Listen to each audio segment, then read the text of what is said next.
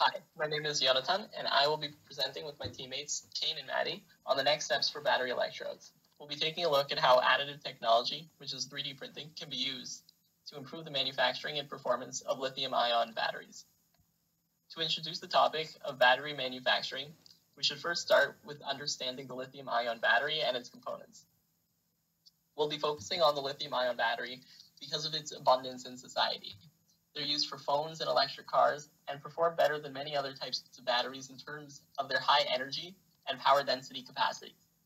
Compared to other battery types, lithium ion batteries have a higher density, are more flexible and lightweight, and have a longer lifespan. The batteries consist of a cathode, an anode, and an electrolyte. The cathode is a metal oxide containing lithium. The anode is made of graphite and, and or silicon, and the electrolyte fills the battery. Standard lithium, lithium ion battery cell production is a complex process that has three parts electrode manufacturing, cell assembly, and cell finishing. We'll be focusing only on electrode manufacturing. The current process for electrode manufacturing uses casting of a slurry for both the anode and cathode. The anode and cathode are formed separately by mixing their active components with binders and additives. These binders and additives assist with the mixing, and they also improve the battery's characteristics. All of this forms a slurry that is then deposited onto a foil. It's then dried and compressed before being dried again. The electrode sheets are split up, and the anode and cathodes are brought together in a process called stacking. The drying process is especially time intensive, taking up to 30 hours. Advancements in electrode production have allowed for micro and nano structuring, with more complex structures improving energy and power densities.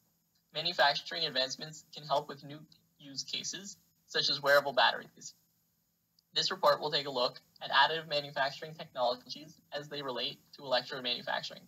The process will be compared with the standard casting method in terms of cost and performance will make recommendations on the next steps for improving the additive manufacturing of battery electrodes. I'll now pass it off to Kane to discuss the latest developments in 3D printed lithium ion batteries. And I'll introduce the design process to make this new improved 3D printed lithium ion batteries. One of the most popular 3D printing process is fused deposition modeling. It's low cost and it can be applied in a wide range of applications. The innovation comes from customized designed 3D printed electrode that can maximize the capacity of the battery. We know that we commonly use polylactic acid filaments as the basis for FDM 3D printing but PLA itself is electrically inert. Therefore, we have embedded lithium electrode active materials with PLA resin so it can be used for electron storage and act as battery. The PLA is first dissolved in dichloromethane and mixed with lithium ions. The third ingredient is the conductive materials such as carbon black or graphite to get even better electron transport capacities. Additional additives also be introduced to mix to uphold the mechanical strength of the battery when it is being 3D printed. After the mixture is made, it then undergoes tape casting process where the mixture is made into a thin film of even thickness. 3D printed battery is really a hybrid process that uses many manufacturing method instead of just simple casting. But the customized uh, manufacturing method allows for us to produce a 3D printed battery that has optimal energy and storage capacity.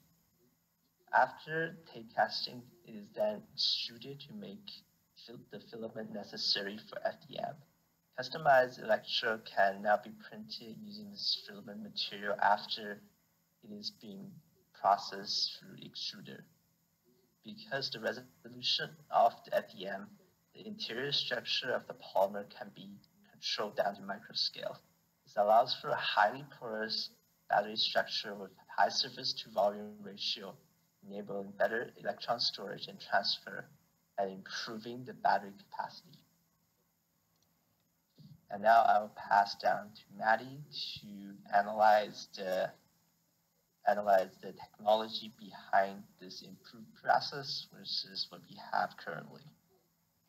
So the following section will briefly compare the conventional casting process and the additive manufacturing process. This comparison was done based on two studies.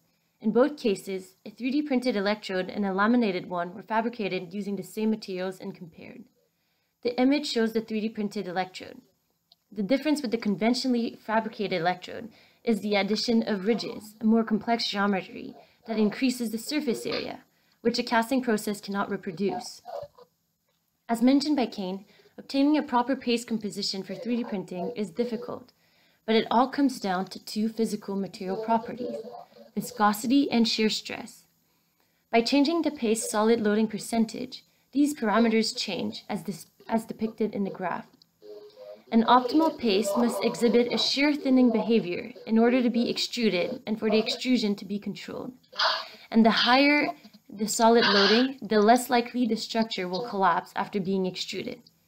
This is one of the many ways that additive manufacturing of electrode is more complex than conventional methods. Battery performance depends on the amount of added the amount of active materials in an electrode as it determines the energy and power in the battery. Higher densities can be achieved by increasing the volume fraction of the active material, or by increasing the amount of material by making the electrodes thicker.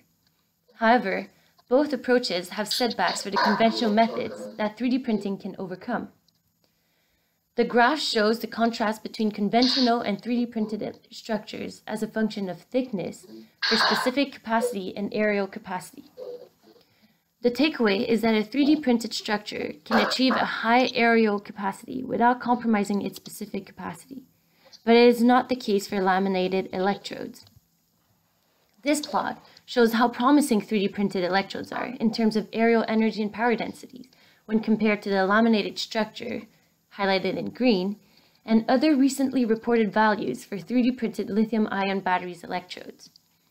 The difference in energy and power densities among the different 3D printed batteries is mainly due to the materials used for the paste.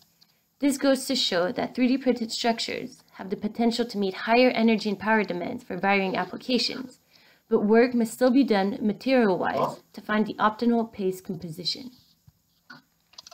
As for the manufacturing processing time, it takes longer to print an electrode than to cast it, but casting has a longer post-processing process.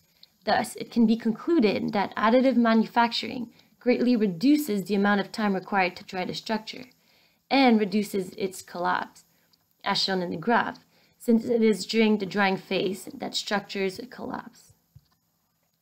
In conclusion, as most studies on additive manufacturing of electrodes were done in the last few years, only the concept of using 3D printing has been proven, but the technology has not yet been brought to the market in any large-scale commercialization.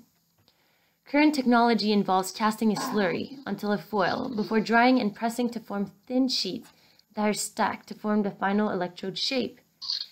Additive manufacturing technologies such as FDM have been applied to electrode production to reduce manufacturing times and improve performing characteristics. The next step is to scale the manufacturing, as well as continuing to improve the lithium-ion battery performance. There are also many opportunities to expand the range of materials used to create, to increase the battery's energy and power densities, as well as finding ways to um, use more sustainable materials to reduce the carbon footprint and environmental impacts of lithium-ion batteries.